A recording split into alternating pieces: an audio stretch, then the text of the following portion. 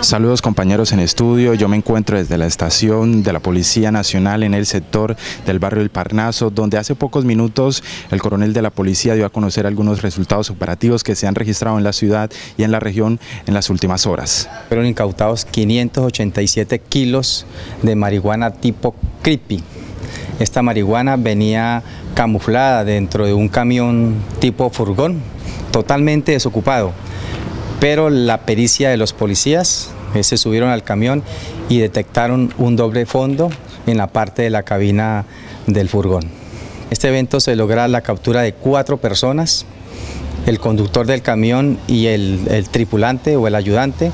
como también por nuestra valiosa información de nuestra gran red de participación ciudadana, también se logra la captura de dos personas más en un vehículo, quienes eran los que eh, muy posiblemente mal llamados campaneros avisaban los lugares o los puestos de control donde se encontraba la policía para evadirlos. De la misma manera, el coronel se refirió al modus operandi que utilizaban las personas capturadas en este operativo. Hemos identificado o hemos en las, en las investigaciones eh, detectado que este, este alcaloide, esta, esta droga viene del departamento del Cauca con diferentes destinos, muy seguramente hacia el norte del país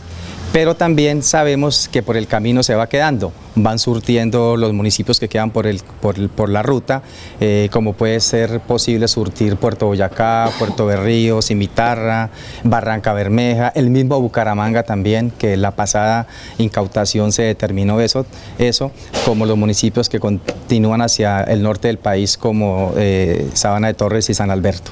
Esa es la información que se registra a esta hora desde eh, la estación de policía del barrio El Parnaso. Ustedes en el estudio, por supuesto, tienen más información. Buenas tardes.